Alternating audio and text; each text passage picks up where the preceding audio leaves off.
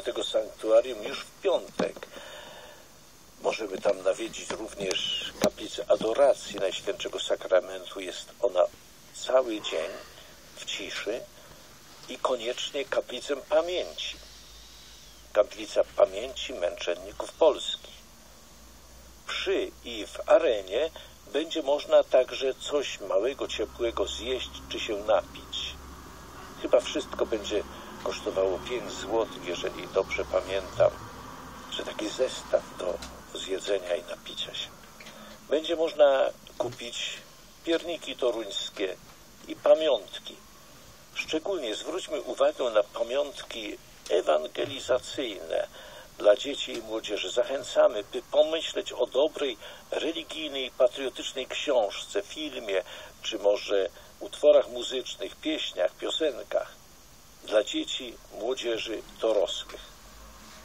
Świetną okazją dla takich ewangelicznych prezentów jest uroczystość świętego Mikołaja 6 grudnia, a później tak zwana gwiazdka na Boże Narodzenie. Stoiska z tymi wartościowymi prezentami będą w namiocie przed areną i wewnątrz areny na parterze i pierwszym piętrze. Podajemy również jeszcze inne informacje w różnych zwiastunach. A wszystkich serdecznie pozdrawiam i mówię do radosnego i podniosłego świętowania. Jeszcze jedno. Uroczystość niepokalanego poczęcia Najświętszej Marii Panny 8 grudnia o godzinie 18 świętujemy w Bydgoszczy, w Bazylice Świętego Wincentego a Pauli. Dziękujemy serdecznie zawsze gościnnym i życzliwym misjonarzom świętego Wincentego a Rodzina Radia Maria z Bydgoszczy i okolic serdecznie zapraszamy. Powiedzcie innym. Bóg zapłać.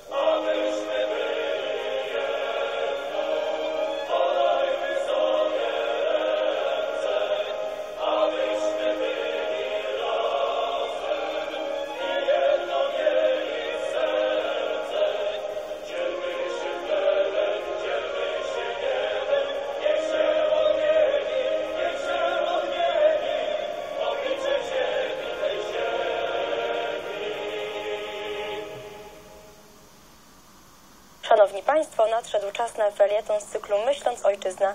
Mówi do Państwa profesor Grażyna Ancyparowicz. Serdecznie zapraszam. Szczęść Boże. Ja wspomniałam Państwu tydzień temu, że większość środków, jakie są w tej chwili w dyspozycji OFE, to są nasze publiczne pieniądze, za które zostały zakupione spółki giełdowe.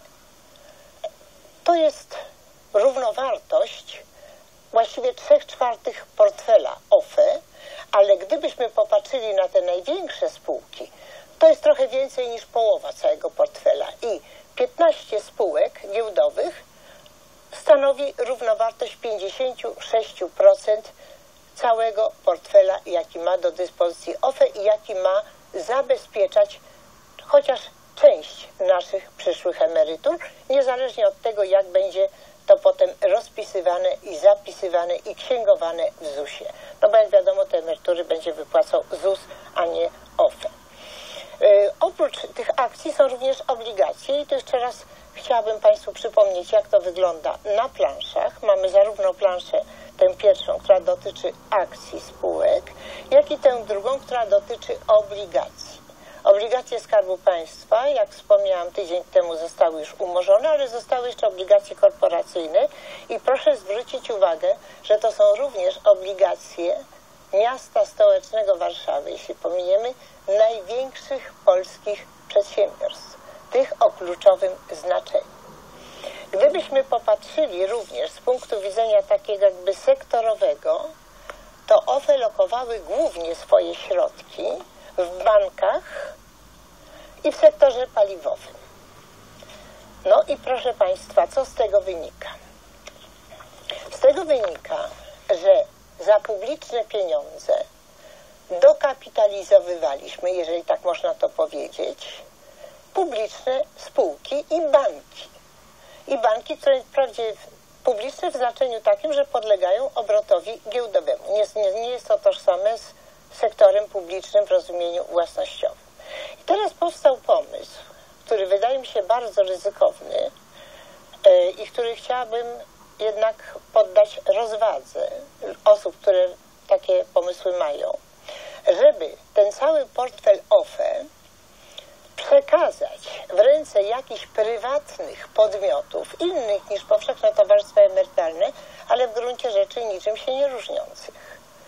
I żeby otwarte fundusze emerytalne zniknęły z naszej sceny, z naszego rynku kapitałowego, ale w zamian pojawiły się jakieś inne, nie wiem, spółki czy narodowe fundusze inwestycyjne kolejne.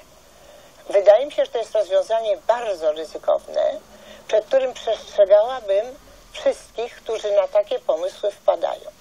To są pieniądze, które zostały zaangażowane, jak powiedziałam, w akcje polskich podmiotów, największych polskich firm.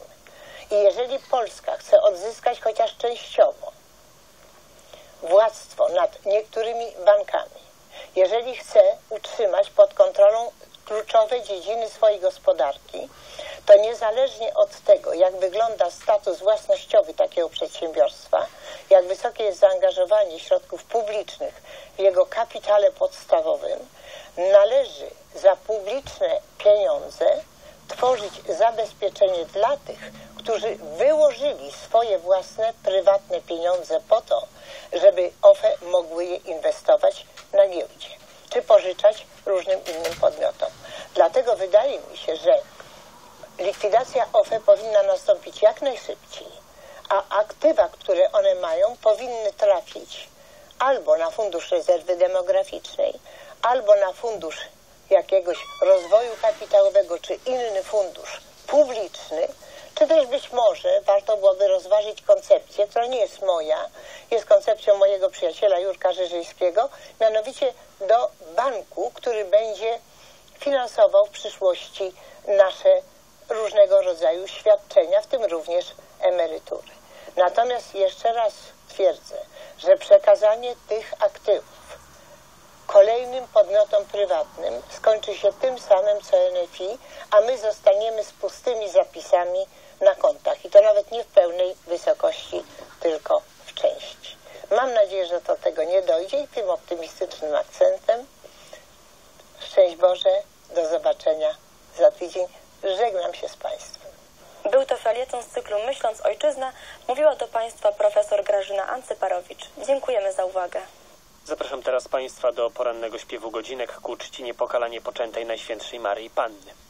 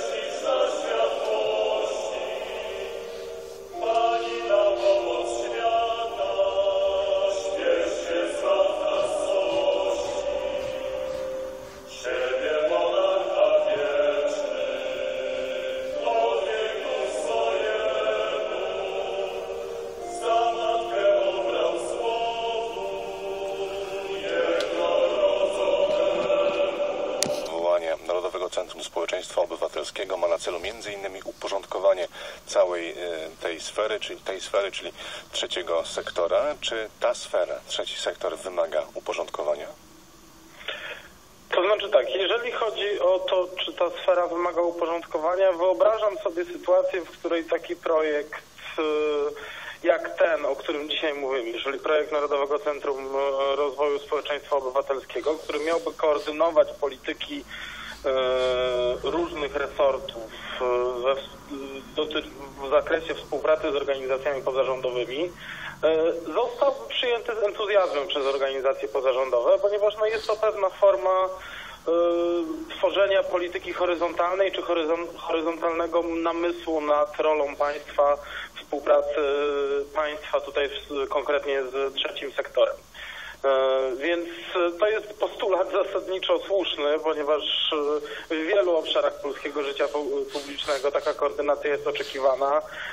Część przedstawicieli organizacji pozarządowych zwraca uwagę na to, że rzeczywiście przesunięcie kwestii współpracy z organizacjami pozarządowymi do Kancelarii Prezesa Rady Ministrów, czy pod, bezpośredni, pod bezpośrednią współpracę z premierem, tak żeby to właśnie osoba nominowana przez premiera była osobą, z którą przedstawiciele organizacji pozarządowych powinni rozmawiać. To, jest, to był rzeczywiście postulat, który się pojawiał w poprzednich latach jako takie oczekiwanie. Oczywiście w, dzisiaj w zestawieniu z, z całą tą kampanią czy cyklem, cyklem materiałów wiadomości telewizji polskiej dotyczącą organizacji pozarządowych. Był ten projekt interpretowany w nieco innym duchu niż można wyczytać tak naprawdę z założeń do ustawy, z tego projektu, którego wersję znamy dzisiaj, cały czas jeszcze chyba nieoficjalnego projektu tej ustawy. Na pewno nie jest to duże zaskoczenie i ja jestem raczej przekonany, że nie ma ten projekt związku z tym, co widzieliśmy w wiadomościach, z atakiem niesłusznym i niepotrzebnym na organizację. Z tego powodu, że tak naprawdę projekt Narodowego Centrum to jest rzecz, która idzie w duchu propozycji, które Prawo i Sprawiedliwość od kilku lat w swoich kolejnych wersjach, odsłonach programowych prezentowało. Większej centralizacji, większej koordynacji, innego rozłożenia akcentów w polityce państwa wobec organizacji pozarządowych. Ignacy Dudkiewicz, to samo pytanie, czy trzeci sektor wymaga uporządkowania? Trzeci sektor wymaga na pewno rozmowy nad, nad tym, w jaki sposób funkcjonuje i co należy w nim poprawić, bo zgodzimy się wszyscy, również działacze trzeciego sektora czy badacze zajmujący się tą tematyką, że pewne sfery wymagają na pewno poprawy. Problem z tym pomysłem, który został sformułowany przez panią premier, nie polega na tym, że jest zaskakujący, bo tak jak Piotr mówi, to jest coś, co idzie zgodnie z tym, co, co Prawo i Sprawiedliwość zapowiadało przed wyborami, tuż po wyborach itd. Problem polega na tym, po pierwsze, na tym kontekście, o którym mówił Piotr, czyli tego, jaka jest obecnie atmosfera dyskusji na temat organizacji pozarządowych w Polsce, zwłaszcza w mediach publicznych, to znaczy w telewizji polskiej konkretnie. A z drugiej strony problem polega na tym, że zgodnie z obietnicami urzędników tego rządu, pełnomocnika e, rządu do spraw społeczeństwa obywatelskiego, już byłego, pana ministra Wojciecha Karmarczyka, ten projekt miał zostać poddany konsultacjom w kwietniu tego roku. Od kwietnia, czyli lekko licząc 7 miesięcy, sektor pozarządowy wciąż nie doczekał oficjalnego projektu. Jedyny projekt, jaki znamy, to jest, to jest wynik przecieku, który z kancelarii premiera, który w kancelarii premiera miał miejsce. I teraz, jeżeli czytamy w skutkach oceny regulacji do, do, dołączonych do tego projektu, że konsultacje mają się skończyć czwartym kwartale 2016 roku, czyli odliczając czas świąteczno-noworoczny, który zawsze jest trochę innym czasem, za około 4 tygodnie, to mamy do czynienia z sytuacją, kiedy kluczowy, gigantyczna reforma współpracy rządu z organizacjami pozarządowymi jest po prostu konsultowana po łebkach. I to jest coś, co budzi największy opór i największe wątpliwości działaczy pozarządowych e, protestujących nie tyle konkretnie przeciwko temu projektowi, tylko przeciwko sposobowi, w jaki on jest prezentowany i wprowadzany.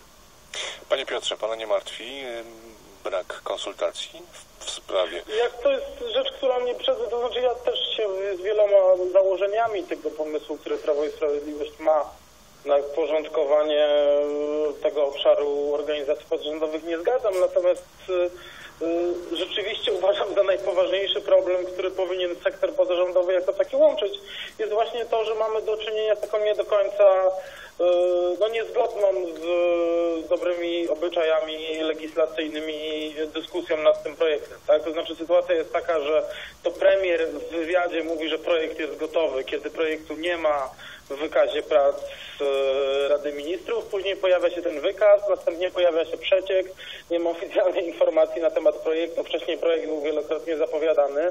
To rzeczywiście jest e, tryb, w którym e, w którym nie powinno się konsultować, gdzie nie powinno się prac, prowadzić prac legislacyjnych. To nie jest problem oczywiście tylko tego projektu, tylko bardzo wielu innych przepisów w Polsce i, tego, i, i to to dotyczy zarówno praktyki tego rządu, jak i rządów poprzednich, że niestety, ale projekty ustaw nie są w Polsce e, zgodnie z zasadami, które rząd sam przyjął, e, konsultowane i w ten sposób e, prowadzone w jaki sposób teoretycznie powinny być. Natomiast ten projekt w naturalny sposób e, no, jest jako projekt skierowany do grupy, która w dużym stopniu organizacji, która tak naprawdę do środowisk, które w dużym stopniu walczą właśnie o te kwestie e, prawidłowych konsultacji. No, wydawałoby się, że jest rzeczą oczywistą, że akurat politycy odpowiedzialni za prowadzenie takiego projektu będą chcieli go konsultować po Bożemu zgodnie z przyjętymi przez rząd zasadami. Niedobrze, że tak nie jest, bo to w dodatkowy sposób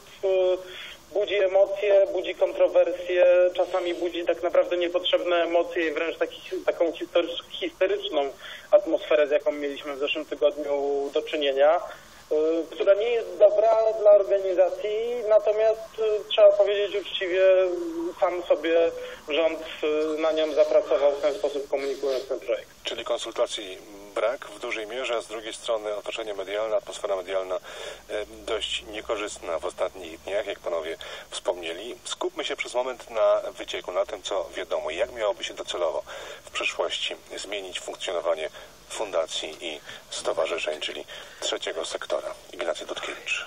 Jeżeli chodzi o te fundacje i stowarzyszenia, które e, przede wszystkim korzystają ze środków z, e, ze, z pieniędzy samorządowych, to nie zmieni się wiele. To znaczy wciąż samorządy będą mogły zlecać realizację rozmaitych zadań publicznych, takich jak wprowadzenie, sz- nie wiem, schroniska dla zwierząt, e, zajęć w szkole, czy hospicjum, czy miliona innych rzeczy, e, na zasadach, które dotąd znamy. Zmienią się zasady e, udzielania dotacji z, ze środków centralnych, to znaczy środków ministerialnych.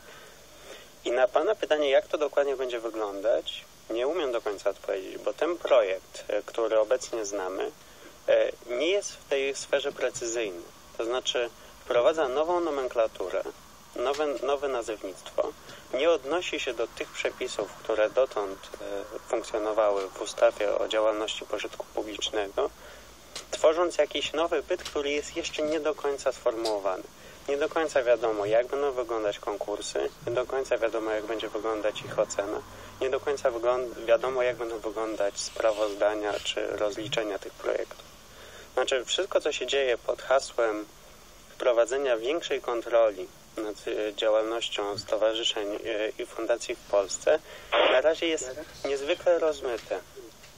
E, A, a prawda jest taka, że obecnie stowarzyszenia i fundacje właśnie są kontrolowane. Tak? Znaczy to jest jakiś mit, że sposób w jaki są wydatkowane pieniądze publiczne, przekazywane stowarzyszeniom i fundacjom, żeby za te pieniądze realizowały zadania własne państwa de facto, że to nie jest kontrolowane. To jest kontrolowane i co więcej, teraz wiemy, jak to się dzieje. Więc ta zapowiedź, że teraz będzie ta kontrola większa, jest na razie bardzo enigmatyczna i bardzo mało konkretna. Piotr Trudnowski, czy pan wie, jak miałyby funkcjonować te stowarzyszenia i te fundacje finansowane ze środków ministerialnych, gdyby powstało Narodowe Centrum Społeczeństwa Obywatelskiego? Na dziś e, z tej ustawy tak naprawdę wynika nawet nie centralizacja e, tych środków będących w dyspozycji różnych ministerstw, tylko tak naprawdę właśnie przesunięcie Funduszu Inicjatyw Obywatelskich z Ministerstwa Rodziny, Pracy i Polityki Społecznej właśnie do tej nowej e, instytucji. To, I to tak naprawdę można powiedzieć w pewnym sensie tyle, co wiemy.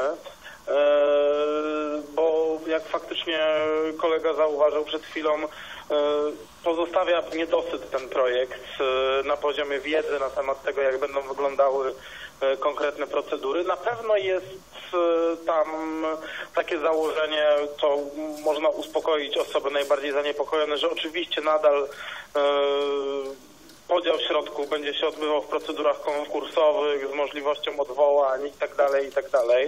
Wydaje się, że jest w tym projekcie również taka wola, by jeżeli rzeczywiście zostaną do tego włączone inne e, środki z innych resortów, żeby zostały jakby scentralizowane te mm, takie biurokratyczne obowiązki związane z zarządzaniem z projektami, składaniem wniosków, rozliczaniem ich, co byłoby pewnie dla części organizacji istotnym ułatwieniem. Natomiast są też takie rzeczy, których nie ma wprost w tym projekcie, ale one są niejako właśnie w, w tej części zapowiedzi Prawa i Sprawiedliwości. Mówił o tym również wczoraj premier Gliński w wiadomościach czyli szereg dalszych pomysłów Prawa i Sprawiedliwości na temat wsparcia właśnie trzeciego sektora, który ma być taką polityką mającą ten sektor niejako kształtować, tak? czyli na przykład wsparcie organizacji y, kontrolujących władzę ze środków y, publicznych, tak? wsparcie mediów lokalnych, które również jest przedstawiane zarówno wcześniej w programie Prawa i Sprawiedliwości, jak i wczoraj przez premiera Glińskiego w tym pakiecie działań. Więc tutaj na pewno jest cały czas w Prawie i Sprawiedliwości taki, taki pomysł i przekonanie, żeby ten pakiet zmian, który znamy od programu 2014 roku, dotyczący również kół gospodyń wiejskich y, i tak dalej, i tak dalej, y, został zrealizowany w takim pakiecie, do którego, jak się wydaje, ta ustawa jest pierwszym punktem, y, punktem wyjścia. Niestety wydaje się, że wszystkie te działania, które Prawo i Sprawiedliwość dotychczas planuje, to są działania, które się opierają przede wszystkim na idei nieco innej dystrybucji czy zarządzania środkami publicznymi z budżetów centralnych, które organizacje pozarządowe otrzymują. Nie ma specjalnie pomysłów na to, w jaki sposób sprawić, żeby Polacy prościej, chętniej przekazywali środki prywatne na funkcjonowanie organizacji, a to wydaje się, że byłoby najbardziej pożądanym działaniem. W ostatnich dniach pojawia się też argument, że y, z jednej strony y, rząd y, próbuje w jakimś sensie kontrolować funkcjonowanie organizacji pozarządowych, czyli z samej chociażby definicji funkcjonujących już poza obrębem mm, polityki. Z drugiej strony jednak zwolennicy tego rozwiązania odpowiadają, że przecież skoro fundacje czy stowarzyszenia pobierają środki e, bezpośrednio z budżetu ministerstwa, to w jakiś sposób muszą przed ministerstwem odpowiadać za to, mm, jak wydają te pieniądze. I oczywiście dzisiaj również odpowiadają, to znaczy każda dotacja przekazana organizacji podlega bardzo skrupulatnej kontroli ze strony tego, kto tę dotację przekazuje. Czy to jest samorząd, urząd marszałkowski, ministerstwo, czy jakakolwiek inna agencja e, państwowa. Wszystkie organizacje również odpowiadają przed e, urzędami skarbowymi. Organizacje, które mają status pożytku publicznego, czyli to są te, które w dużym uproszczeniu, które mogą zbierać 1%, e, muszą dodatkowo dodatkowe sprawozdania e, przekazywać. Stowarzyszenia odpowiadają przed starostwem w powiecie, w którym są założone. Fundacje odpowiadają przed ministrem właściwym do tego, czym się zajmują, czyli na przykład organizacje, fundacje, które się zajmują pomocą osobom chorym, odpowiadają przed Ministerstwem Zdrowia i tak dalej, i tak. Wszystkie te e, fundacje i stowarzyszenia są kontrolowane. Co więcej, niekiedy są nawet kontrolowane przesadnie, tak bym, tak bym powiedział i raczej bym szedł w stronę e, jakiegoś ujednolicenia i ułatwienia im życia, e, niż tego, żeby tę kontrolę zwiększać. Bo to, co czasem się pojawia, tak jak e, pan redaktor powiedział, że te organizacje powinny być kontrolowane, zakłada jakieś takie dziwne, jak, jak dziwną myśl, że obecnie nie są kontrolowane. To znaczy, że przez 25 lat państwo polskie przekazywało góry pieniędzy e, jakimś dziwnym grupom ludzi i w ogóle nad tym nie panowało. Tak nie było. Pytanie do Piotra Trudnowskiego. Ile kontroli, ile zaufania w relacjach rząd, trzeci sektor? Jak to uporządkować tak, żeby po jednej i po drugiej stronie nie było pretensji? Wydaje się, że, że się tutaj zgadzam z Ignacym, że rzeczywiście no nie, ma, nie było takiej sytuacji, że organizacje nie były kontrolowane. Oczywiście był cały szereg kontrowersji związanych z różnymi konkursami, z różnymi wielkościami wsparcia, z konkretnymi projektami i tego, czy i, tak, i takimi no, problemami dotyczącymi tego, czy naprawdę chcemy, żeby państwo polskie jakiegoś rodzaju działania wspierały czy nie, wspierało czy nie. To są oczywiście pytania takie natury politycznej, przed którymi nigdy nie uciekniemy i musi być przestrzeń do takiej dyskusji. Dobrze, że teraz taka dyskusja się e, zaczęła. W oczywisty sposób e, dużo istotniejsze tak naprawdę dla funkcjonowania organizacji pozarządowych i tego, w jaki sposób e, one będą też odbierane przez obywateli, dla których realnie swoje działania prowadzą. Nie jest kwestia tego, w jaki sposób organizacje sprawozdają, będą się sprawozdawać przed ministrem, czy to będzie e, powiedzmy usystematyzowany formularz, czy e, sprawozdanie pisane przez w taki czy inny sposób, tylko najważniejsze jest to, w jaki sposób po prostu obywatele będą komunikowali o swoich działaniach, e, organizacje będą komunikowały swoje działania, będą mówiły o nich na swoich stronach internetowych, będą odpowiadały na pytania dziennikarzy. I tutaj tak naprawdę dużo istotniejsza dla przejrzystości i kontroli społecznej funkcjonowania organizacji, również w tym wymiarze, w którym wydają one środki publiczne, jest to, są tak naprawdę dobre praktyki między organizacjami, a nie jakieś radykalne zmiany ze strony państwa.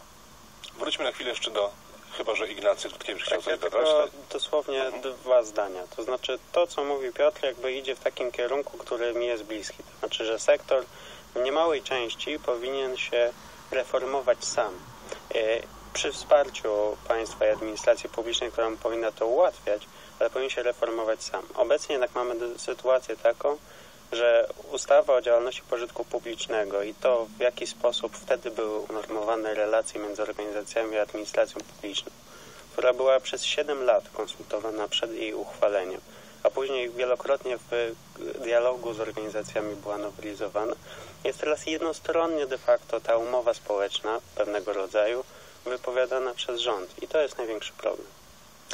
Wróćmy na moment jeszcze do tego wątku, który się pojawił na wstępie w Panów wypowiedziach, czyli do dyskusji wokół wypowiedzi wicepremiera Piotra Glińskiego, który najpierw wyraził wyraził chęć, czy wyraził gotowość do przeproszenia mm, fundacji zaatakowanych czy skrytykowanych przez telewizję publiczną, a później odniósł się także do samych publikacji telewizji publicznej, co spowodowało pewne perturbacje polityczne, jak panowie to odbierają. Znaczy ja to odbieram w ten sposób, że pan profesor Piotr Gliński, któremu niewątpliwie nie można odebrać bardzo fachowej wiedzy na temat organizacji po, pozarządowych i tego, jak funkcjonuje sektor fundacji i stowarzyszeń w Polsce, e, powiedział głośno to, co osoby znające się na organizacjach pozarządowych dokładnie myślą. To znaczy oglądając te e, materiały emitowane przez wiadomości TVP, my wszyscy mieliśmy e, poczucie, znaczy nie wiem czy wszyscy, no ale zdecydowana większość osób mieliśmy poczucie, że mamy do czynienia z właśnie, jak to ujął pan premier, pozwolę sobie na cytat, domem wariatów. Piotr Trudnowski. Wypowiedź premiera Glińskiego rzeczywiście jest taką wypowiedzią, z którą przede wszystkim jakby ta chęć przeproszenia, abstrahując jakby od całej niezręczności związanej z przepraszaniem za media publiczne przez polityka, e, no bo tutaj jakby, roz, jakby można rozumieć e, skąd, skąd te wątpliwości polityków Prawa i Sprawiedliwości, ale jeżeli chodzi o meritum, czyli niesłuszny atak, niepotrzebny atak i spersonalizowany atak na, na konkretne osoby zaangażowane w konkretne zasłużone organizacje, no to była rzecz, która budziła niesmak chyba wszystkich osób, które ten sektor znają. E, no i trudno się było spodziewać, że wcześniej czy później, e, znaczy łatwo można było się spodziewać, że wcześniej czy później któryś z polityków Prawa i Sprawiedliwości w naturalny sposób ze względu na znajomość sektora i lata poświęcone temu problemowi społeczeństwu obywatelskiemu Piotr Gliński będzie taką osobą, która która te słowa wypowie. Natomiast w naturalny sposób no, można ocenić te materiały, które telewizja publiczna prezentowała bardzo negatywnie, ale trzeba też mieć świadomość, że cały szereg inicjatyw obywatelskich przez długie lata które nie wpisywały się w taki, można powiedzieć brzydko, główny nurt e, funkcjonowania organizacji pozarządowych. Nie zawsze były organizacjami, czasami były obywatelskimi inicjatywami, również były e, bardzo niesłusznie wcześniej w przyszłości przez media e, opisywane, więc to, co dzisiaj nazywamy atakiem na organizacje pozarządowe, miało swoje precedensy niestety już w poprzednich latach, kiedy konkretne organizacje niepasujące, niepasujące do takiego typowego ich wizerunku były negatywnie przez media oceniane, co jest bardzo dużym problemem dla organizacji z tego powodu, że organizacji yy, nie stać na kampanie PR-owe, które im pozwolą odzyskać wiarygodność, organizacji nie stać na kosztowne procesy bardzo często i tak dalej, i tak dalej. I tak naprawdę mogą, można w bardzo prosty sposób yy, za, za pomocą takiego nie do końca przemyślanego materiału przygotowanego przez osoby, które być może nie rozumieją specyfiki organizacji, po prostu takiej organizacji, która robi bardzo dużo dobrej roboty, bardzo poważnie zaszkodzić. Po zakończenie jeszcze wróćmy na chwilę tylko do ustawy powołującej Narodowe Centrum Społeczeństwa Obywatelskiego. Konsultacje miały zakończyć się w czwartym kwartale tego roku, czyli miały potrwać do końca grudnia. Jaki bieg wydarzeń panowie przewidują? Ignacy Dudkiewicz w porozdaniach. Chciałbym wierzyć, że yy, tak, naprawdę chciałbym wierzyć, że rząd jeszcze pójdzie po rozum do głowy i te konsultacje przedłuży i te terminy, które obecnie zapowiada, czyli że Narodowe Centrum powstanie w lutym, jeszcze zrewiduje. Piotr Trudnowski, jednym zdaniem? Ja również czekam na oficjalną publikację projektu i oficjalne ogłoszenie jego konsultacji yy, właśnie w taki sposób, żeby nie tylko organizacje pozarządowe, ale również wszyscy obywatele mogli się na temat tej ustawy zgodnie z, z procedurami konsultacji publicznych wypowiedzieć. O fundacjach, o stowarzyszeniach, o trzecim sektorze i o tym, czy wymaga on uporządkowania, e, mówili Ignacy Tutkiewicz, portal ngo.pl. Bardzo dziękuję. Dziękuję. I Piotr Trudnowski, Klub Jagielloński. Również bardzo dziękuję. Autopromocja. Radio 24. Pieniądze, inwestycje, podatki, rynek pracy. Komentarze, opinie, analizy, dyskusje. Puls gospodarki od poniedziałku do piątku o 10.15. Autopromocja. Informacje dnia w skrócie. Przed mikrofonem Robert Kawka. Na warszawskie mosty, wiadukty i strome ulice wyjechały 42 posypywarki. Działania służb oczyszczenia miasta rozpoczęły się o godzinie czwartej i dobiegają właśnie końca. Przed śliskością zabezpieczanych jest 7 warszawskich mostów, wiadukty, estakady i takie ulice jak Dolna, Belwederska, Spacerowa czy Karowa. W razie potrzeby zostaną zlecone kolejne akcje mające na celu zabezpieczenie jezdni przed śliskością. Rośliny likwidujące smog, filtry oczyszczające powietrze i urządzenia mierzące zanieczyszczenia. To efekt 24 godzin pracy naukowców w ramach smogatonu. Od soboty przez dobę 30, 30 Zespół młodych naukowców z całej Europy pracowało w Krakowie nad rozwiązaniem problemu zanieczyszczenia powietrza. O szczegółach Paweł Pawlica. Wiele projektów dotyczyło wykonywania pomiarów zanieczyszczenia powietrza z użyciem nowoczesnego sprzętu, między innymi z dronów, które podlatywałyby nad kominy, ale ekspertów najbardziej zaskoczył pomysł usadzenia specjalnego mchu pochłaniającego smog, mówi organizatorka smogatonu Anna Ryś. Właściwie wielka płaskorzeźba, którą można postawić w środku miasta i która filtruje smog dookoła. Podobno 275 razy więcej smogu niż e, drzewa na przykład, zajmując przy tym mniej miejsca. Wśród propozycji pojawiły się także specjalne filtry powietrza do domów, ale w smogatonie wzięli udział również producenci kotłów na węgiel. Ale te piece emitują 96% mniej smogu niż standardowy piec, więc można dalej korzystać z węgla, przy tym dbając e, o środowisko i o nasze powietrze. 10 najciekawszych projektów eksperci wybrali do ścisłego finału. Spośród nich wyłoniony zostanie zwycięzca, który otrzyma 100 tysięcy złotych. Kraków, Paweł Pawlica, Polskie Radio. Naukowcy zaprezentowali model najstarszego latającego gada odkrytego w Polsce. To Ozimiek, Ozimiek Wolans. Jego szkielet został wykopany przez paleontologów z Instytutu Paleobiologii PAN w dawnej kopalni Iłu w Krasiejowie koło Ozimka na Śląsku Opolskim. Jego szczątki były wydobywane ze skały przez 13 lat. Teraz wiadomo, że gadyty miały 90 cm długości, a rozpiętość ich kończyn wynosiła 60 cm. Żyły 230 milionów lat temu, czyli w czasie, kiedy dinozaury dopiero pojawiły się na Ziemi, mówi profesor Jerzy Dzik z Państwowej Akademii Nauk. Zwierz o bardzo cienkich, długich kończynach, wyglądający jak jaszczurka o nadmiernie wydłużonych nogach i między tymi kończynami rozpięta jest błona lotna, podobna do błony lotnej, którą się posługują nietoperze. Ma bardzo długą szyję, nieproporcjonalnie długą szyję, więc z jednej strony wzloty pewnie w ucieczce przed drapieżnikami, z drugiej strony łażenie po drzewach i wyłapywanie owadów. Tomasz Sulej, kierownik Muzeum Ewolucji, mówi, że prace, których celem było opisanie gada, trwały bardzo długo. Pierwsze kości wyszły w 2001 roku, ostatnie w 2013 i po prostu przez cały ten czas zbieraliśmy ten materiał, ale później opisanie go i sprawdzenie, co to w ogóle może być, też zajęło nam dużo czasu, dlatego że no, nigdzie na świecie nie ma nic podobnego. Myśleliśmy zresztą, że to może jest przodek pterozaurów, no ale okazało się, że prawdopodobnie przez pterozaury on wyginął. Model ozimka w skali 1 do 1 oraz jego kości można oglądać w Muzeum Ewolucji Instytutu Paleobiologii PAN w Pałacu Kultury i Nauki. Polskie Radio 24. Słowem wszystko. Jest 5.33. Polskie Radio 24. Powtórka programu. Przed mikrofonem Adrian Bąk zapraszam na magazyn międzynarodowy Świat w powiększeniu. A dziś w powiększeniu bierzemy Bliski Wschód, a przede wszystkim Syrię. Syryjska armia przejęła kontrolę nad jedną trzecią terytorium rebeliantów we wschodnim Aleppo. Tę informację potwierdzają zarówno państwowe media w Syrii, jak i niezależni obserwatorzy. Z terenów, gdzie toczą się ciężkie walki, masowo uciekają cywile. Pod kontrolą sił rządowych jest także największa wschodnia dzielnica miasta, co jest traktowane jako wielki przełom. Czy rzeczywiście? O to zapytam eksperta. W magazynie także o Indiach i wielkim chaosie. Monstrualne kolejki na ulicach, tratujące się tłumy, ogólna, ogólnonarodowa dezinformacja. I jak nie wiadomo o co chodzi, to chodzi o pieniądze. Ale najpierw Syria. Blisko 10 tysięcy cywilów uciekło w ciągu ostatniej doby z kontrolowanych przez rebeliantów wschodnich dzielnic miasta Aleppo, e, północnej Syrii. Właśnie poinformowało niezależne syryjskie obserwatorium praw człowieka. Według tego obserwatorium co najmniej 6 tysięcy uciekinierów schroniło się w części miasta kontrolowanej przez siły kurdyjskie.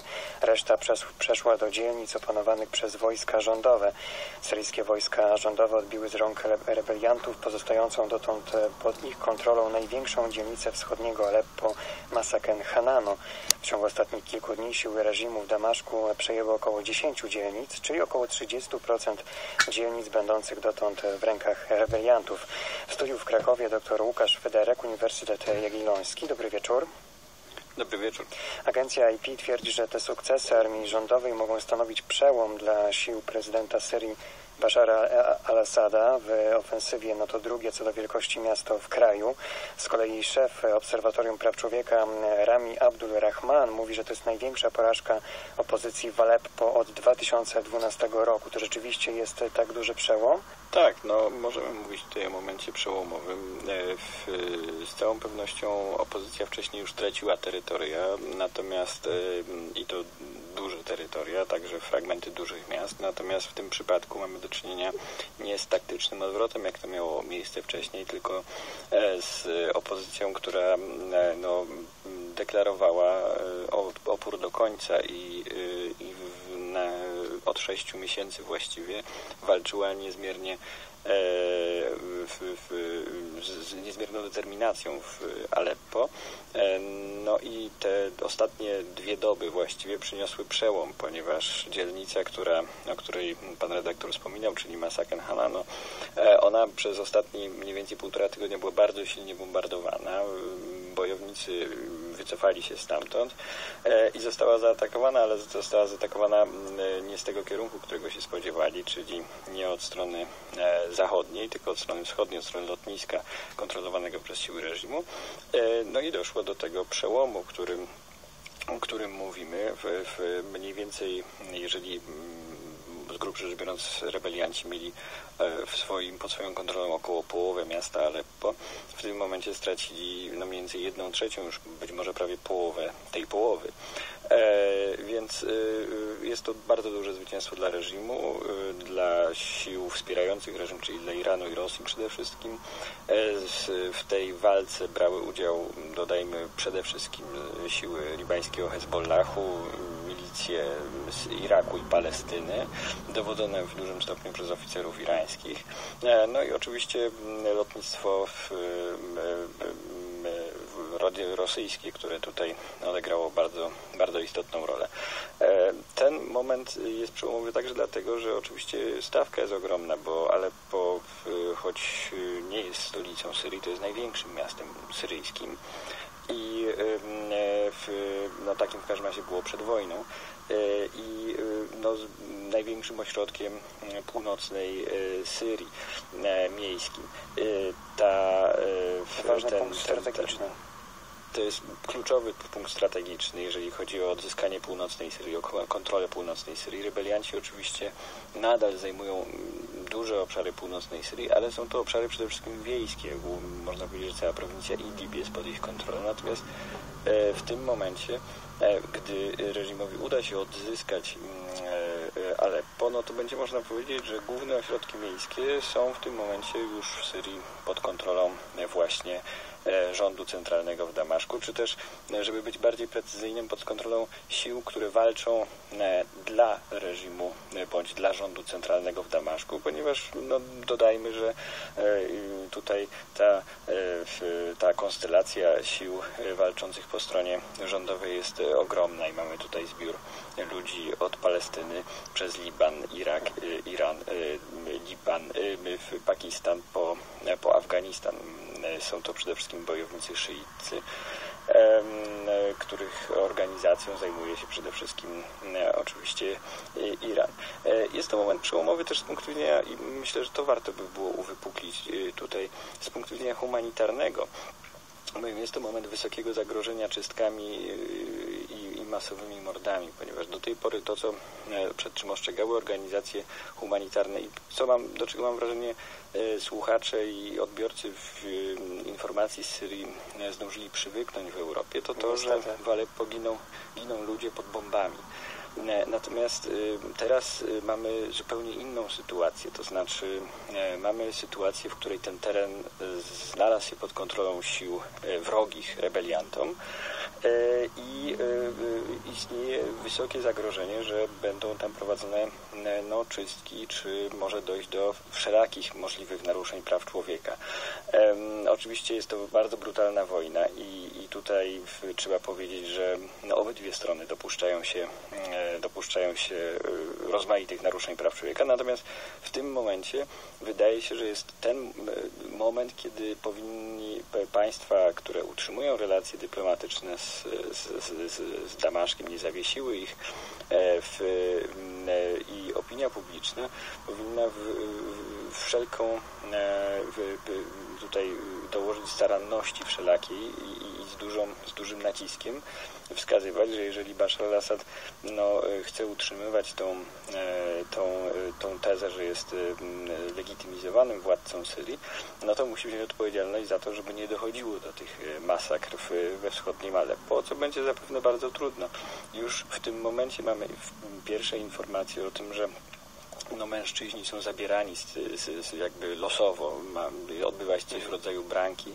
E, Istnieją, to są oczywiście niepotwierdzone informacje, ale tu przed, tuż przed programem słyszałem, e, czytałem o tym, że około 400 mężczyzn zostało po prostu losowo zabranych z tej dzielnicy Masaken Hananu, wywiezionych w kierunku lotniska, gdzie zazwyczaj, a trzeba powiedzieć, że na wojnie w Syrii zazwyczaj na lotniskach znajdują się takie centra, e, no więzienia po prostu w, w sił, sił rządowych. Już nie mówiąc o tym, że sytuacja czysto humanitarna jest tragiczna. ONZ alarmuje, że nie jest w stanie pomagać cywilom uwięzionym w mieście. Regionalny koordynator pan Ramesh Raja Singha mówi, rozdaliśmy już całą żywność w ramach Światowego Programu Żywnościowego. Nie mamy już nic. No to jest wyraz kompletnej bezradności.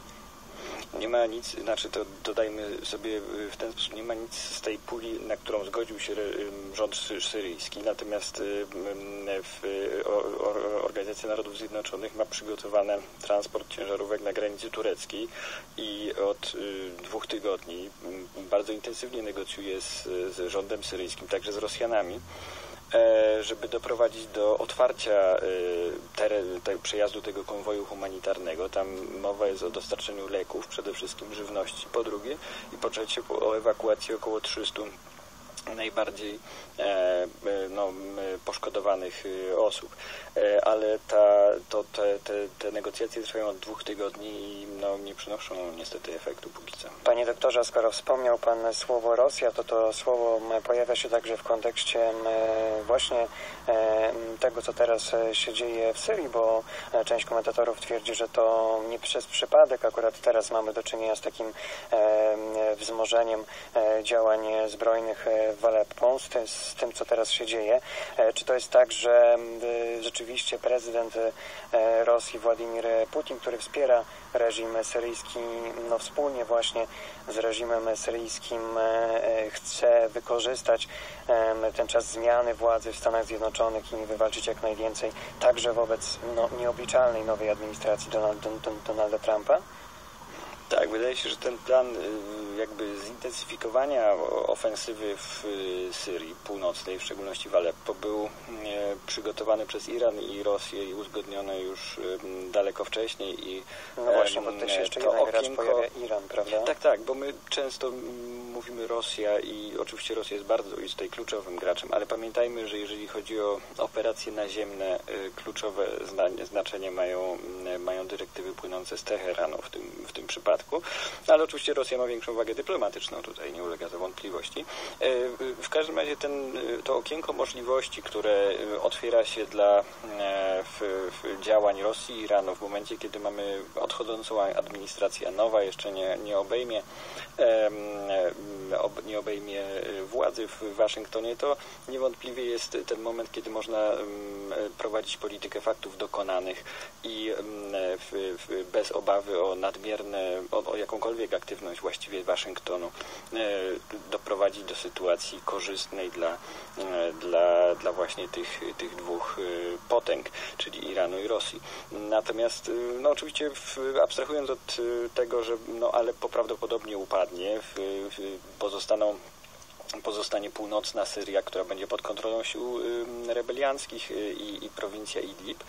Mm, no, pojawia się pytanie, jak bardzo uda się i jakim kosztem będzie się udawało utrzymać to panowanie e, w siłom e, Bashara al-Assada, siłom irańskim. Ale to jest oczywiście temat na e, pewnie odrębne, odrębne, odrębną dyskusję.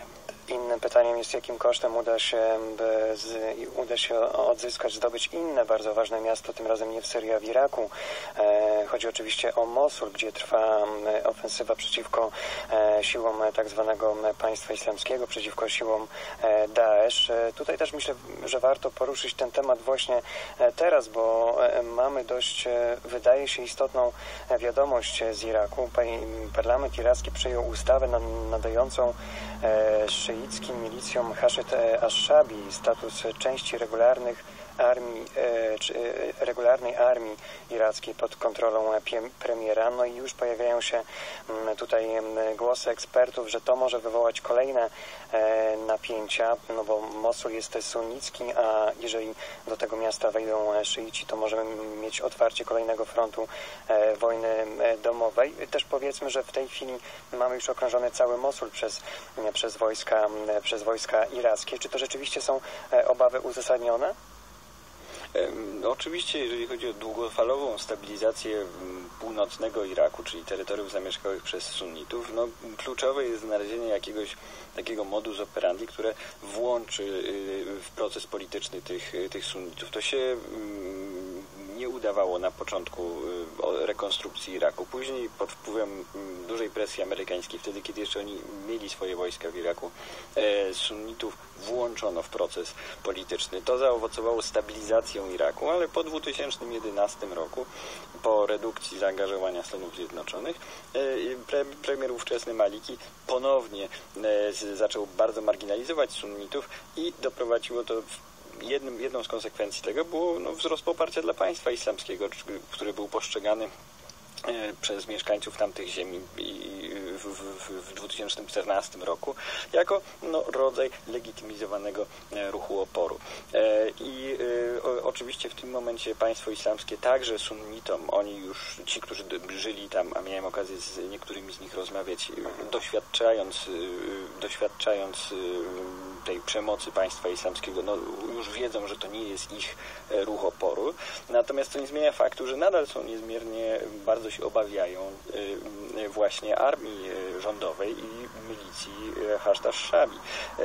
Ja rozmawiałem z ludźmi, którzy uciekli z Mosulu właśnie przede wszystkim w obawie nie przed tym, co zrobi państwo islamskie, ale co stanie się w momencie, kiedy wkroczą siły rządowe bądź milicje. Teraz mamy zmianę w postaci takiej, że te milicje stały się niejako przyjęte, zostały włączone w oficjalne e, w struktury państwa, państwa irackiego. I e, e, no, czas pokaże, czy ten ruch jest ruchem tylko mm, w, ruchem tylko kosmetycznym, czy on rzeczywiście przyniesie, można powiedzieć, większą kontrolę prezydent, premiera Al-Abadiego nad, nad tymi paramilitarnymi ugrupowaniami, bo pamiętajmy, że pozycja premiera Al-Abadiego jest stosunkowo słaba w Iraku i w, gdy czyta się komentarze, jak interpretować ten ruch, czy on wzmocni premiera Abadiego, czy nie, to tutaj zdania są bardzo podzielone. Niektórzy wskazują tutaj na e, to, że ten ruch był rodzaj, swego rodzaju ruchem uprzedzającym y, właśnie mm, no, takie dążenia do rozwiązania haszdasz Shabi, czy to przez, czy to przez na, na drodze formalnej przez y, rząd Abadiego, czy na drodze takiej, mm, no, w, w, powiedzielibyśmy, podcięcia legitymacji takiego uprawomocnienia nieformalnego, a mianowicie no, w, pamiętajmy, że w, dla szyitów irackich bardzo ważnym autorytetem jest Ayatollah As-Sistani, w Nadżafie i to jakby jego fatwa otworzyła drogę do formowania e, hasztasz Shabi i e, w ostatnimi tygodniami, miesiącami mówiło się, że, że Ayatollah, wielki Ayatollah alias Sistani no, może wydać następną fatwę, że należy właśnie już rozwiązywać tą, tą mhm. tymczasową siłę zbrojną I, i, i niektórzy postrzegają uchwalenie tej ustawy o włączeniu w, jako taki ruch uprzedzający no czas pokaże, natomiast jak, do jakiego stopnia, czy, czy pre, pozycja premiera Abadiego popieranego przez Zachód, popieranego przez Amerykanów, ale nie mającego tak do końca e, jasnych e, stosunków z Iranem e, się umocni. Natomiast nie zmienia to faktu, że dla pomyślności stabilizacji Iraku w długiej perspektywie kluczowe, absolutnie kluczowe jest włączenie sunnitów do procesu politycznego. Być może e, przyznanie sunnici w północ, na północy Iraku najchętniej widzieliby e, przyznanie szerokiej autonomii Mosulowi i, jego e, okolicy, prowincji Niniwa, bądź także sąsiednim prowincjom. No, czas pokaże, czy ten plan się uda zrealizować. Te komentarze po tym ruchu, po tej ustawie włączającej hashtag Shabi do struktur państwa irackiego są na razie niezbyt zachęcające, ponieważ politycy sunnicy e, odczytują ten ruch e, jako ruch antysunnicki, niestety. Tak czy inaczej, Aleppo syryjskie, Mosul, iracki Mosul, dwa bardzo ważne miasta, niezwykle ważne dla, dla losów dwóch wielkich e, wojen. Do tych tematów będziemy z pewnością jeszcze wracać. E, tymczasem gościem pierwszej części programu był dr Łukasz Federek z, z Uniwersytetu Jagiellońskiego. Bardzo dziękuję. Teraz czas na część drugą. Polskie Radio 24.